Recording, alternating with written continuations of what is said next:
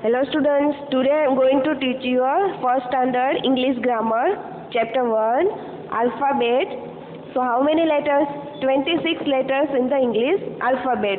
So first one is capital letters and small letters. Okay? आप लोगों ने learn किया हुआ है आई होप आप सबको याद होगा सो so, एक्सरसाइज करते हैं write the capital letters from A to Z in proper order below यहाँ पे कुछ कैपिटल लेटर्स दिए हैं और कुछ मिसिंग है। तो आपको क्या करना है? Fill the missing capital letter from या from here okay exercise B write the small letters from A to Z in proper order below यहाँ पे भी ऐसा ही है। कुछ लेटर्स दिए हैं और some are missing so missing letters are filling by you okay कहाँ से आपको देखना है? यहाँ से आपको देख के यहाँ पे आपको कॉपी करना है।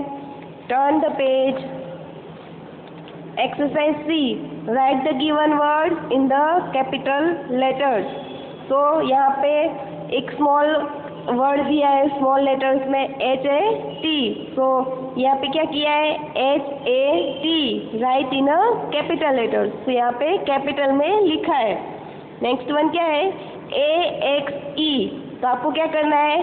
Write in the capital letters A X E okay rest of the और ये जो भी रेस्ट है, वो आपको करना है फिर। ओके समझ आ गए ना?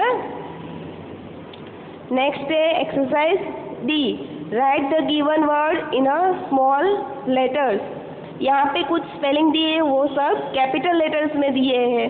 वो आपको क्या करना है? स्मॉल में कन्वर्ट करना है। So first one is F O X so capital में था उसको स्मॉल में कैसे किया? एफ़ ओ एक्स ओके आपको भी वैसा सेम करना है। सो so, आज का आपका होमवर्क क्या होगा? जो भी मैंने आपको इंस्ट्रक्शन दिए हैं, उस हिसाब से आपको अपनी वर्कबुक में फिल करना है। कौन सा page number page number three and four